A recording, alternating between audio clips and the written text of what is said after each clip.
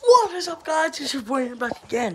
And today, today, today, today, we are going to be making the world's hottest sauce that I can think of. Now, the chips that we're going to be using today to dip the sauce in, I mean, to dip and get our taste out of, is Chipotle's chips. Shout out to Chipotle. Their chips are great. But today, first, you're going to need is gonna need a little bit of barbecue. Barbecue. Gonna need, of course, a little bit of red hot hot sauce, beef steak seasoning, and spice classic. And then take anything really.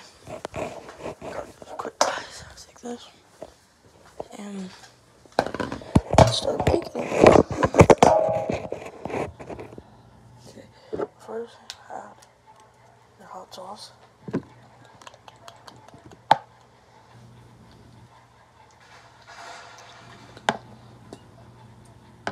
Get your hot sauce added. Add uh, just a little. The baby rice is gonna give that like a little spicy spice. A tiny bit of baby rice hot. I mean, okay little bit of steak seasoning. Sprinkle just a little bit of that in there. And a little bit of classic. A little bit of spice classic.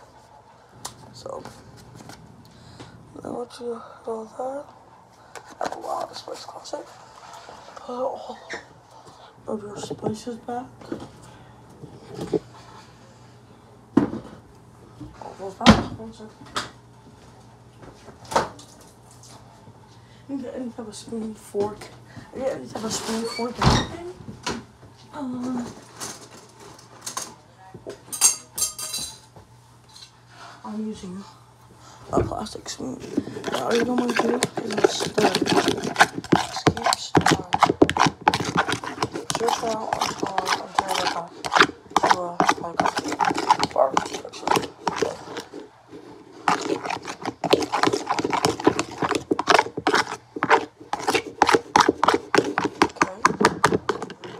Uh, this should be what your finished product looks like. Good.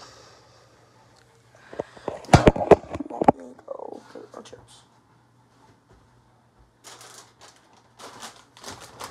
Okay. We're gonna one.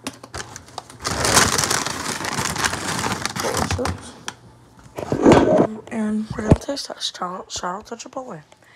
So we're gonna grab a little bit of that there. Mm. Let's see. Mm.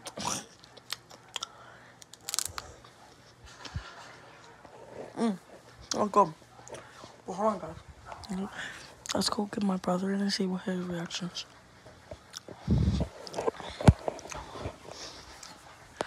Just taste this.